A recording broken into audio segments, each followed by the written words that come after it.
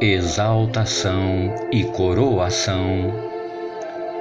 A vida nos impõe inúmeros desafios e nós, com personalidade, serenidade, luz e fé, devemos enfrentá-los um a um, tendo a firme confiança de que Deus está conosco, nos auxiliando e nos direcionando em todos os momentos em oração, com motivação e sempre buscando a melhor inspiração, procura levares até o fim algo que começaste,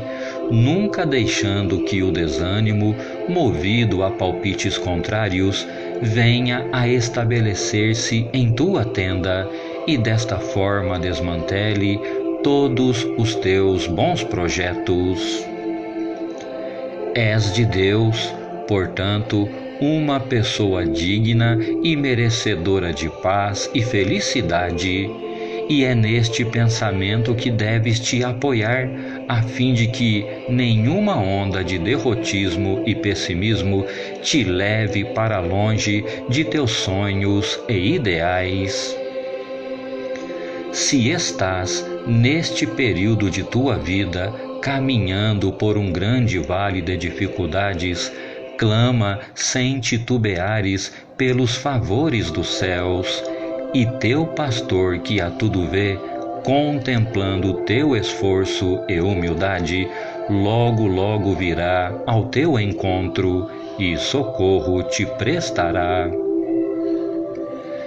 Que teu semblante não descaia diante das lutas e que teus olhares sejam firmes em direção ao horizonte,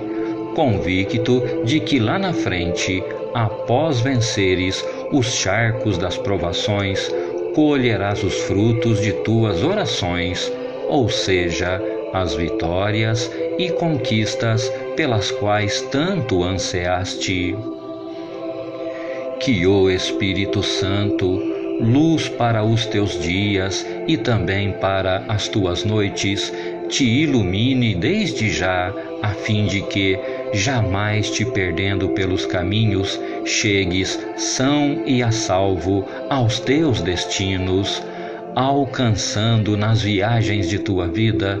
todos os bons desejos do teu coração. Uma coisa eu te digo, se te mantiveres com Deus em comunhão, em todos os teus lemas de vida, jamais existirão a palavra humilhação, mas sim exaltação e coroação.